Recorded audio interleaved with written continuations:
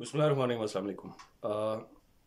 آزاد کشمیر کے سیاسی صورتحال اور اس سلسلے میں تھوڑی سی بات میں آپ کے سامنے رکھتا چلوں۔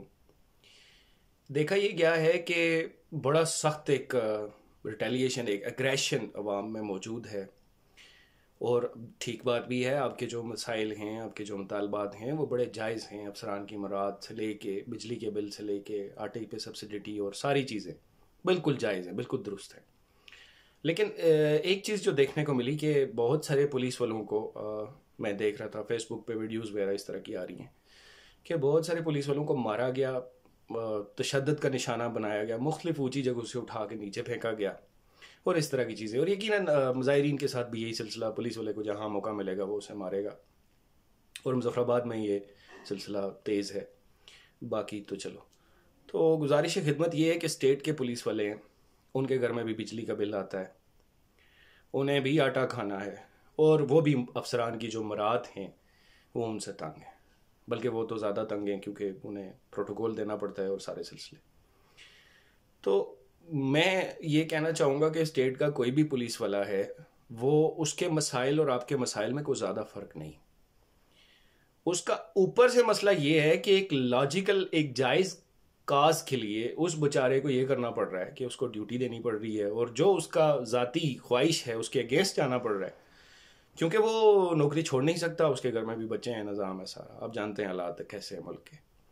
تو گزارش کی خدمت یہ ہے کہ جناب اگر کوئی پولیس والا غلطی سے آپ کے ہتھے چڑھ جاتا ہے، تو اس کے ساتھ اس طرح کا سلوک مت کیجیے کہ وہ کو کافر ہے یا انڈیا سے آیا ہے۔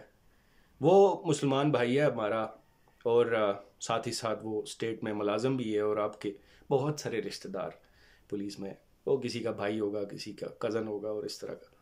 تو کائنڈلی ان کے ساتھ تھوڑا آرام سے پیش آئیے، تھوڑی نرمی دکھائیے۔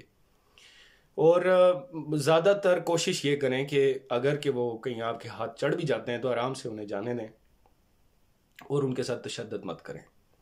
کیونکہ وہ اپنی ذاتی معاملات سے آپ کے اگینسٹ نہیں آئے ہوئے۔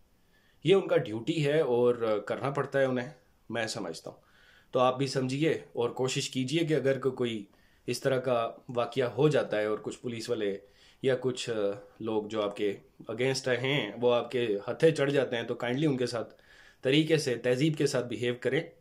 اور اس طرح کا حالات مت بنائیں کہ وہ پریشان ہو جائیں یا وہ مطلب ان کو مارا جائے، جس میں، جس طرح میں نے ایک دو پولیس والوں کا دیکھا ہے کہ وہ شہید بھی ہو گئے، اس میں مارے گئے۔ تو یہ کوئی طریقہ نہیں ہے۔ مطلب بجلی کے لیے آپ پوری نیشن کا یہ قوم ہے کاز ہے۔ لیکن ایک لائٹ کے لیے یا اس طرح سے جان لینا یہ ایک بڑی سخت بات ہے۔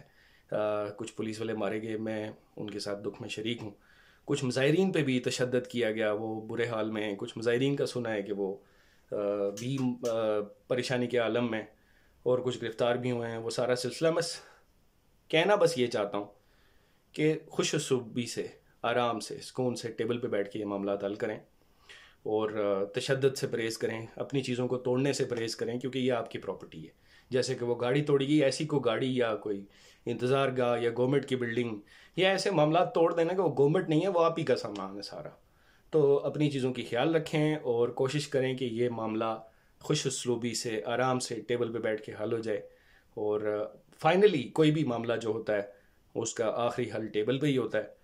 تو جتنے جلدی آپ حکومت کو ٹیبل پہ لے آئیں گے اور آپ لوگ ٹیبل پہ جائیں گے، اتنے جلدی یہ معاملات حل ہو جائیں گے۔ اور مجھے اجازت دیجیے انشاءاللہ آپ کو اپڈیٹ کرتے رہیں گے۔ تھینک یو سو مچ اللہ حافظ۔